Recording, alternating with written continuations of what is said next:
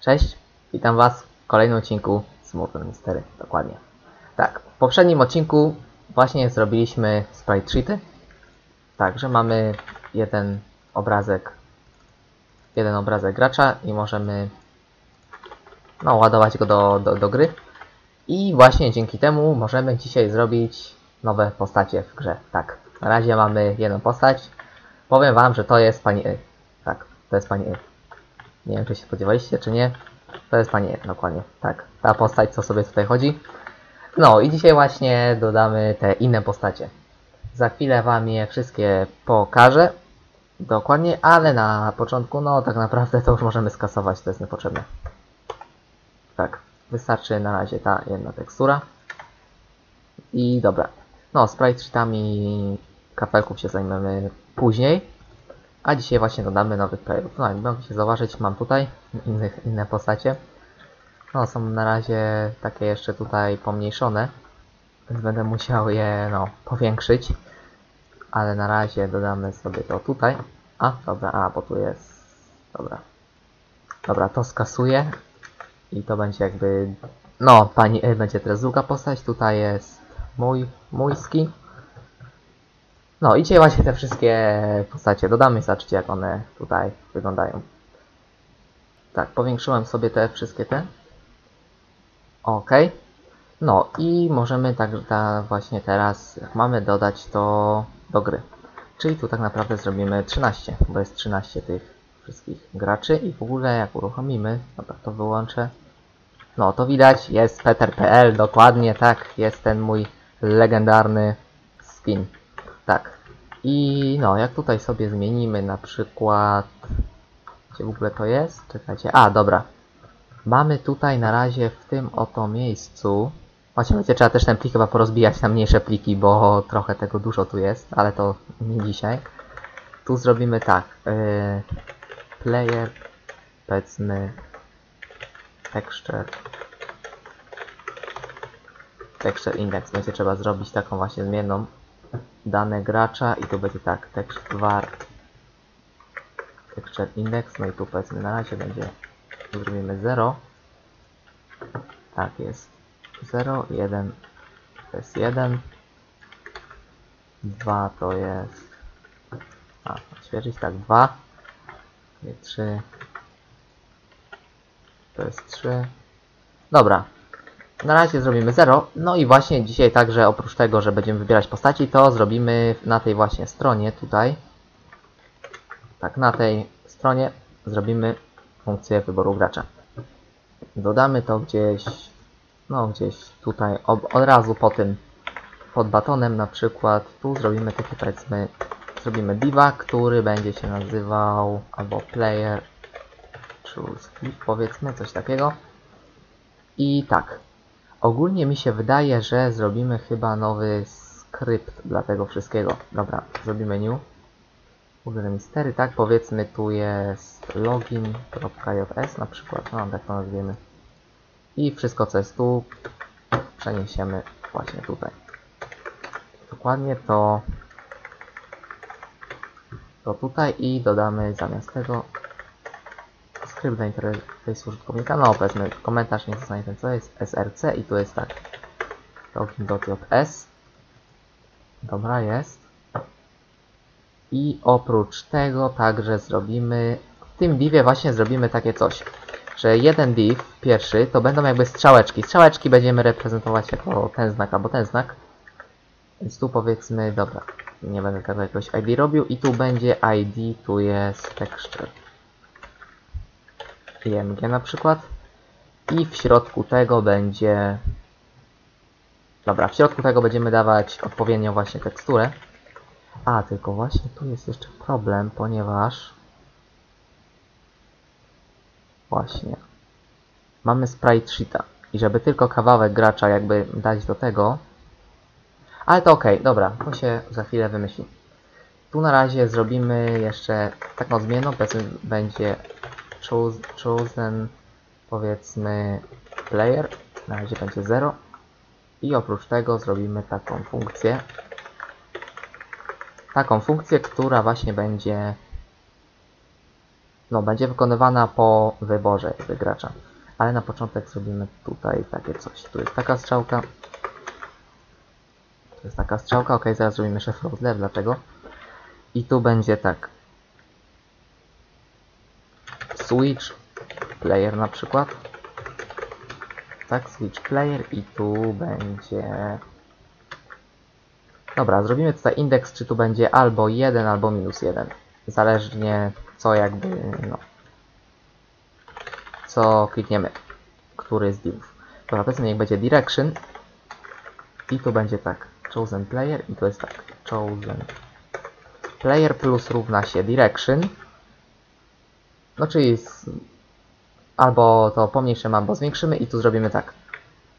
To będzie max players jeszcze, ale max players mamy przecież w APJS, czyli tak, jeżeli jeżeli chosen player jest większy lub równy od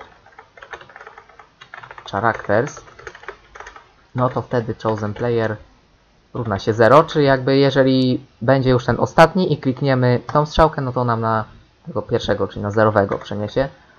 I tutaj if, jeżeli chosen player jest mniejszy od 0, no to chosen player to się równa characters odjąć 1. I tu będziemy robić tak.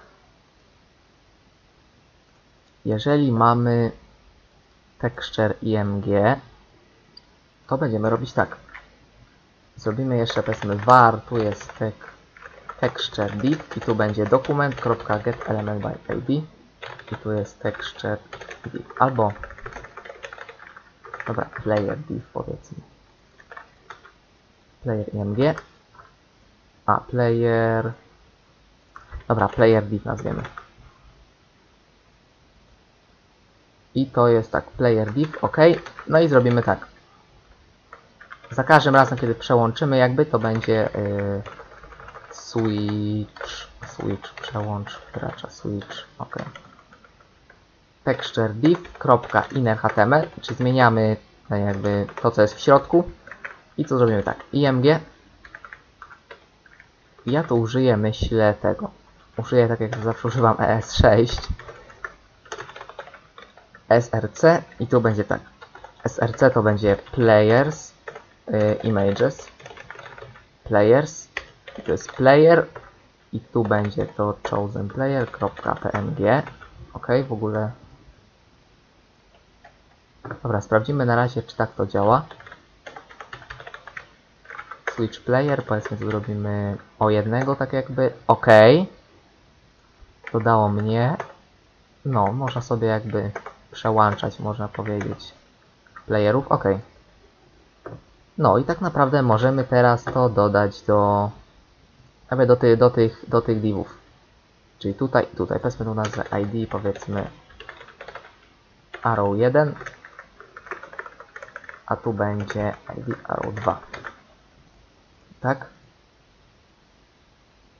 I Dobra, zrobimy tutaj arrow 1 zmiennik. Arrow 1 to się równa document.getElementById arrow 1 i tu będzie arrow 2 arrow 2 no i dodamy teraz te zdarzenia czyli arrow 1 kropka i to jest on mouse down.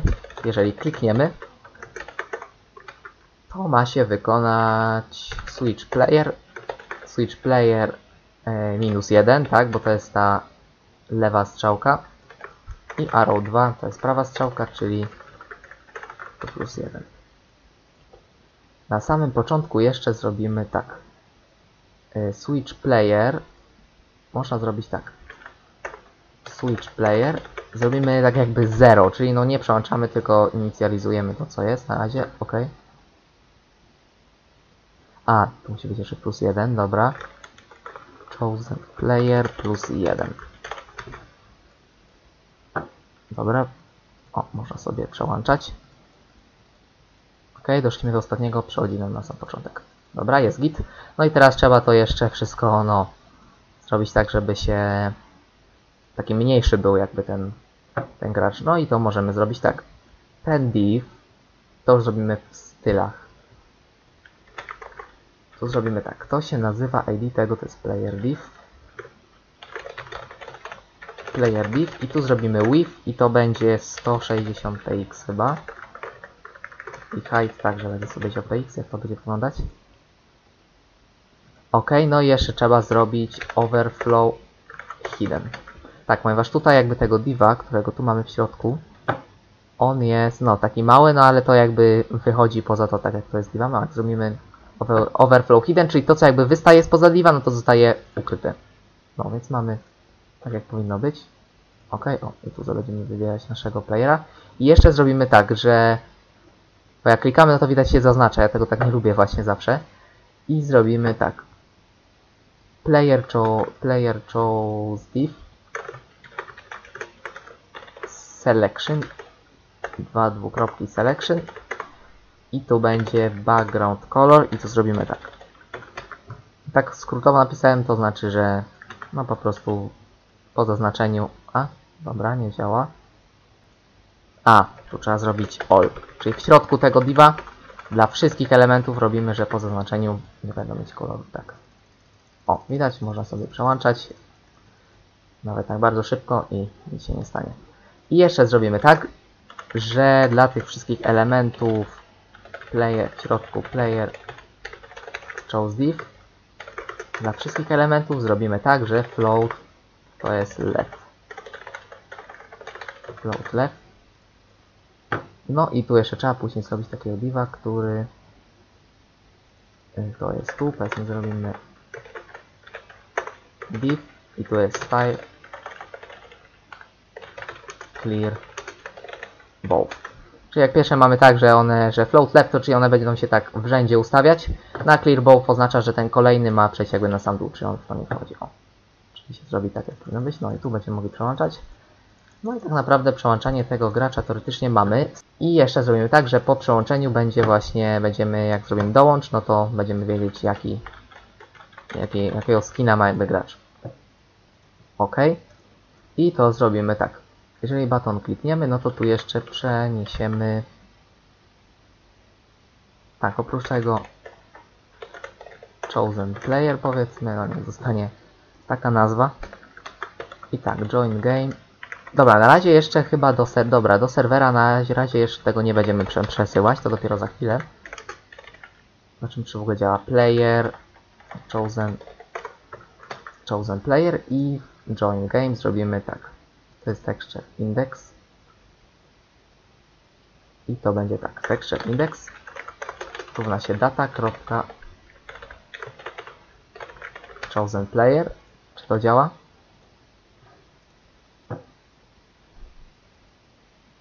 A, dobra, trzeba jeszcze to usunąć właśnie, zapomniałem to usunąć. Tak, ładowanie tekstur gracza. Ok, a jak zrobię do kolejnego, o, widzicie, działa idealnie. Przełączę sobie na, ok. Idealnie. Tu przełączę, o, zrobi się ostatni. No, niektóre osoby wiedzą, kto to jest, ten ktoś. No, jeszcze nam się nie pokazuje tekstura ta prawidłowa tego drugiego gracza, więc właśnie teraz się tym, tym zajmiemy. Tak, więc to na razie, dobra, tu zostawimy. No, więc tutaj jeszcze nie zrobiłem tak, że nie przesyłamy do serwera tego wybranego gracza. Jest nazwę to chosen player. I wiecie co? Nie, to trochę myli, że tu player, ja to po prostu nazwę skin. Chosen skin, tak. No bo to... O, widzicie, nam tu samo zrobiło. Wezmę to... usunę. To właśnie myli się wydaje, że, że, że to chodzi o playera, tak samo...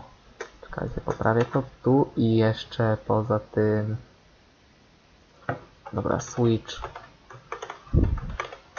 skin jeszcze tak, a to można usunąć, to jest niepotrzebne akurat. Tu jeszcze mamy te tablice. Halo, co się stało? Ok. Tutaj jest skin index. Tutaj będzie skins images. I tu będzie skins. Powiedzmy. I chyba już wszystko. Ok. Jeszcze czekajcie, czekajcie, tu gdzieś jest show player, to nie. Ok, dobra. nazwaliśmy to, no i można teraz to, to dodać tak jak wcześniej mówiłem, czyli tak, tutaj gdzie to jest, przesyłamy do serwera chosen skin i na serwerze w index.js, bo to niech zostanie, zrobimy tak, players index chosen skin równa się data skin, dobra, powiedzmy tu nazwę skin.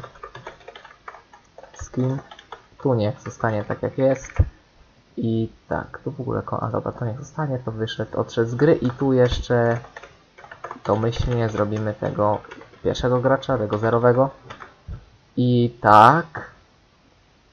Dobra, tutaj wysyłamy graczy, no i jeszcze w login, nie w login, tylko to jest API.js jeszcze musimy zrobić, że tak, że jeżeli odbieramy tego gracza, tych graczy, to to jest nie tu. To jest render players, tak. Tutaj zamiast 0 zrobimy player skin, czy to zadziała? A dobra, od nowa powiedzmy tu dołączymy. O dobra, dobra, coś, coś nie działa, coś nie działa. Skin index jest undefined. Dlaczego? dobra. E, chosen skin. Tak.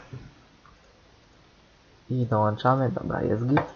A tu się 0 robi, gdzie jest? Czekajcie, konsol. Konsolą, dobra to usuniemy, ok. Powinno teraz działać, dołączamy nim. I tu dołączamy nim. O dobra. Kolejna rzecz nie działa i a tu trzeba zrobić, dobra. Socket. Skin równa się data chosen skin trzeba socket.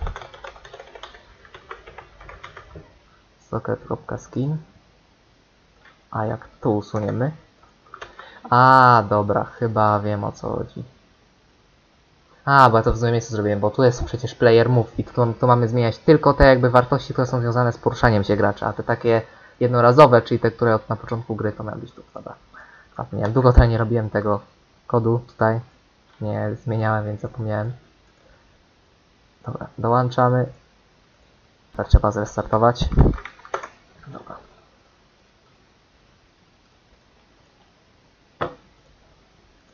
Dołączam, dołączam, ok, działa. Jest git. No, tego de defaulta jeszcze trzeba. Dobra, default tu był chyba 0. A, bo ja serwera ja zrestartowałem znowu. Dobra, dlatego. To na, na serwerze zmieniałem. Dobra, dołączamy. Dołączamy. Jest, jest chyba powiedzmy tym kimś? Dobra, jest. Czyli mamy zrobione to, co mieliśmy zrobić. Więc tak naprawdę myślę, że tutaj możemy zakończyć ten odcinek. Mieliśmy robić te style, ale style także w kolejnym odcinku już będą. Więc tutaj, ja się z wami żegnam. Życzę wam miłego dnia. Zobaczymy się w kolejnym odcinku. I cześć!